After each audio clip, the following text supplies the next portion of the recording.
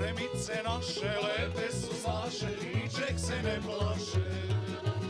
Igrati znaju, pevati znaju, ljubit se najbolje.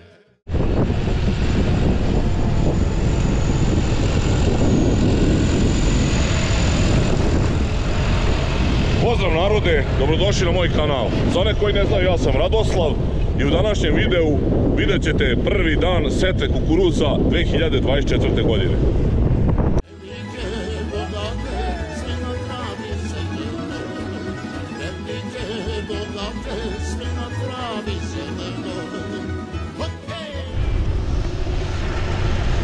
Jedan od čudnih uslova u ovoj godini, u ovoj proletnoj setvi su i ove grudve.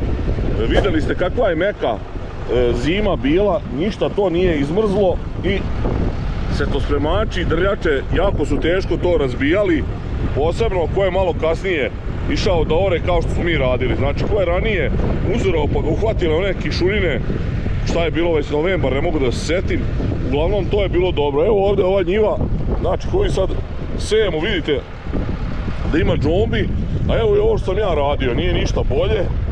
Znači ima delova gdje je malo bolje, ali uglavnom je ovaj, to su te oštre male grudvice koje nije mogao setospremač kao što je inače kao što inače bude da razbije, da napravi, da bude ono baš kako da kažem, skoro kao prašina. Možda i bolje zbog ovog vetra i ovog kom- komplet stanja. Trenutno, evo, sad je 1. april i danas najavljuju 30 stepeni. Evo, jutro je, a već je vrućiština, tako da ko zna šta će još biti narednih par dana i kakva nas godina očekuje sa vremenskim uslovima. Evo, spremljeno je seme. Do sad smo sejali Dekal 50-75, sad će se preći malo na Pionir. Dekal bi dalje ima poverenje ljudi, iako je cena nenormalna.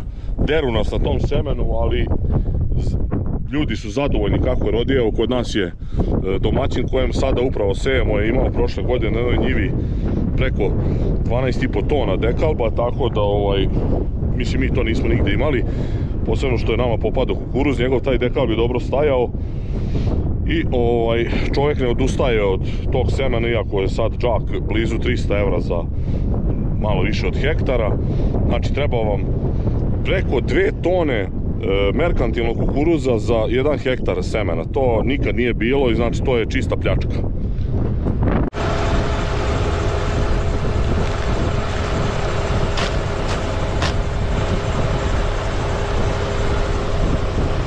Jel imaš tu batikine neke pravce, nešto? Nije pravac, ovdje su plinovi kapačiki. Jao, mam.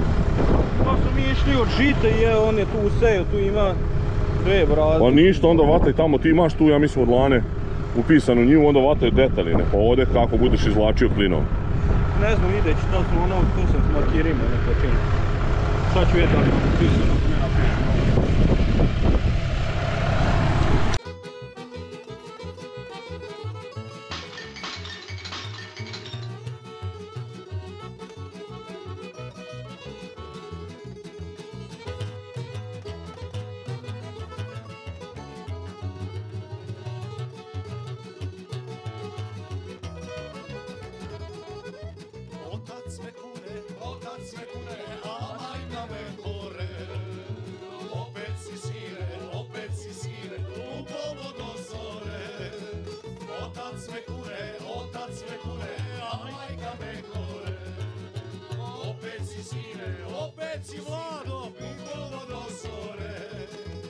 Zato smo sremci, zato smo sremci, vrela je naša grl.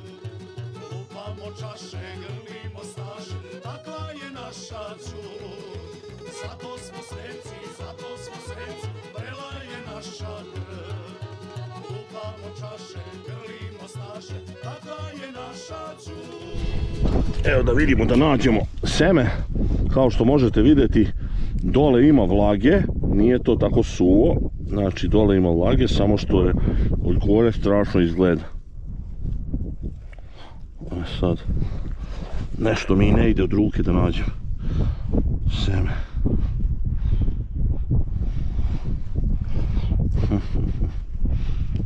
A evo ga. Evo ga vidite gdje je. Znači to je negdje na nekih 6-7 cm dubine. Možda bi moglo malo pliće, ali s obzirom kako izgleda da će biti suvo vreme, možda i bolje da se dublje. Raspoloženje za prvi dan setve je dosta čudno, e, inputi su ostali izuzetno visoki, najavljene su vrlo niske cijene naših proizvoda, e, u najavi i neka suša, temperature su već izuzetno e, visoke za ovo doba godine, tako da kao što u naslovu sam rekao, spremamo se za nove rizike i za nove izazove sa popriličnom zebnjom. Mi smo faktički setvu započeli juče, međutim juče smo Mika i ja bili na dva različita dela potesa, ja sam spremirao, on je sejao, tako da nisam taj prvi dan snimio, ako on tu radio svega par sati, čisto malo da uriba ili isprobu mašinu. E, kod nas su, znači juče je bio 31. mart, danas je 1. april, e, vreme jeste kao prvoaprilska šala, e, ljudi su kod nas ovdje počeli setvu dosta ranije, znači ima i ko je pre 6-7 dana počeo sa setvom, da li ureći za vlagom, da li zbog toga što je bilo toplo vreme, stvarno ne bih sada to da ulazim, meni je bilo prerano, nismo bili ni spremni, tako da smo sada evo krenuli, nadamo se da će dobro ići, prošle godine smo krenuli 12. aprila, znači sada 31. marta, to je 13 dana ranije, ali šta je tu je, takva je godina, takvi su uslovi, prema tome se moramo prilagođavati.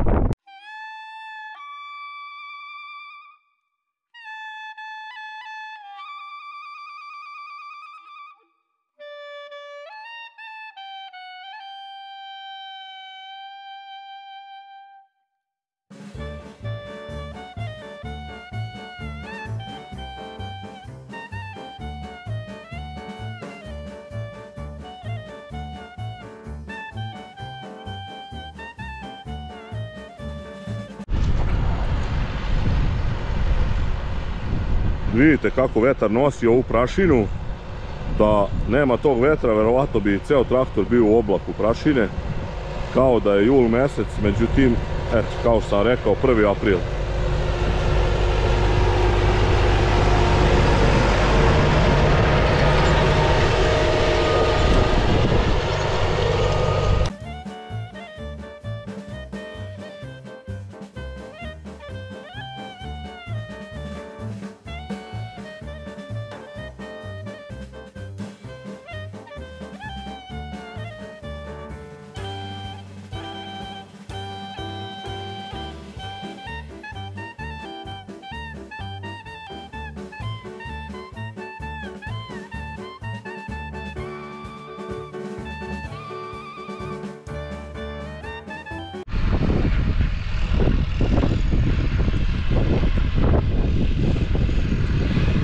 Mika naravno sve preko. E, nadam se da može da drži neki tempo od otprilike 2 jutra i frtaj do 2,5 jutra na sat u proseku. Kada je sve normalno može da i poseje 2 hektara. Međutim, e, jako su sitne njivice i puno ima ovih e, izvlačenja pravaca, nema, obrisala mu se iz navigacije od prošle godine A, B linije, tako da nema šanse da ove godine to bude kao brzo kao što je normalno.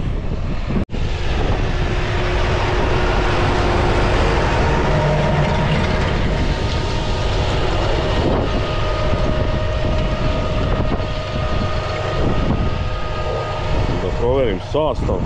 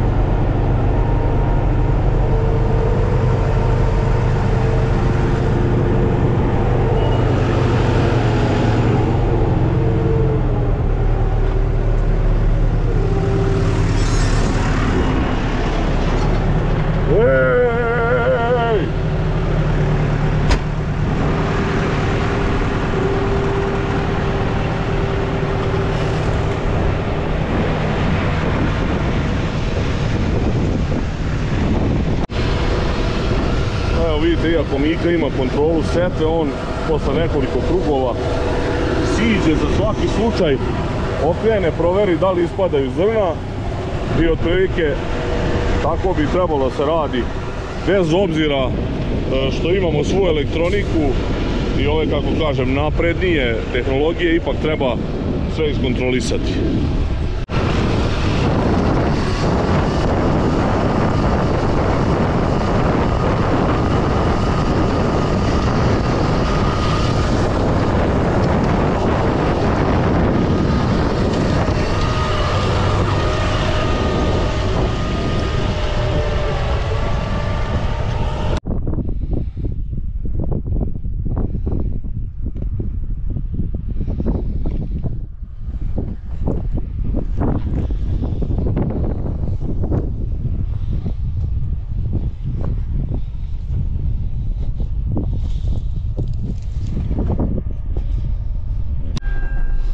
Nika završava ovu njivu i pre prelaska na sledeću ja imam nešto da obavim, idem da vidim da li ima negde Ana da se nađe u selu i da pripremim hemiju za prvu zaštitu Falcon i sekator.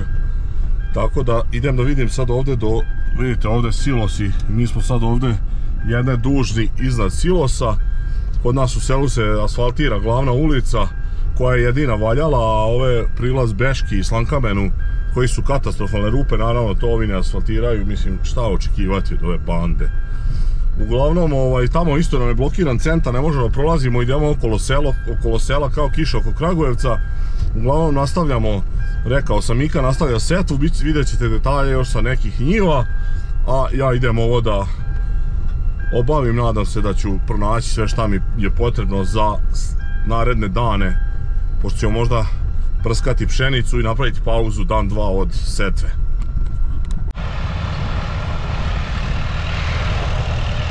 Evo nalazimo se na koja je sad ovo treća ili četvrta njiva. Setva i dalje ide dobro. E, Mika je povezao vlasnika parcele, verovatno će ovaj da mu pokaže da mu pokaže gdje je granica, sigurno zbog toga ide gore sa njim. Inače, šta sam htio da kažem, da kuriozitet ovogodišnji setve ove, početka ove prolesne setve je što sam ja u problemu, e, pošto su nam stigla tri posla odjednom. Znači sad nismo završili bacanje veštačkog đubriva, čak sam rekao vam da ću možda morati na pšenicu još malo da pojačam, pošto sam bacio samo 60 kg onog sulfama po jutru ili 100-110 kg po hektaru. E, onda treba da se prska pšenica takođe od prva zaštita od bolesti i od e, korova i došlo nam je vreme da sejemo. I šta je sad tu problem? Problem je e, što mi koristimo isti traktor, nama treba armatrak za sve, nemamo uske točkoje, nemamo navigaciju na Rusu, mogli bi možda bacamo veštak sa Rusom, ali eto, svejedno ja nemam baš nešto previše vremena, stalno sam u nekoj akciji, išao sam ovaj da, evo sada vidim za taj a nisam to sad nabavio, sad moram dalje ići da tražim. Inače se to spremiram, pripremam za setvu sa pumom, tako da nisam ni ja u nekom baš e, višku vremena da bi mogao to da se organizujem i tu ćemo imati puno problema i ove godine ćemo puno puta prekačivati e, nove mašine, to jest druge, druga oruđa za armatrak. Što se tiče ovog videa i ovog prvog dana, prvog dana setve kukuruza 2024. E, to će otprilike biti to, neću sad tu nešto detaljnije da vam prikazujem, e, zato što će biti dana, bit će vremena za takve prikaze. Ukoliko vam je baš nešto hitno, hoćete da vidite e, na koji način ja obavljam setvu, koje se sve pripreme vrše, kako kompletan taj proces izgleda ili kako izgleda obuka kada neko treba da počne novi da seje, to imate sve u mojim starim klipovima, možete pogledati, možete pogledati kako sam obučavao direktora Savu, kako to da radi. Uglavnom, za ovaj prvi dan za sada dobro ide, poseo je Mika nekih desetak hektara do sada. E, posle, nadam se da će ovaj, sve ići dobro i da će posle možda uspeti da poseje jedan deo nekog suncokreta, ali ne verujem da ću to moći da snimim. Imam obaveza. Uglavnom, hvala vam na gledanju ovog klipa. Ako do sada niste zapratili moj kanal, zapratite. Ostavljajte lajkove, komentare, delite moje video snimke. Vidimo se u sledećem klipu. Pozdrav!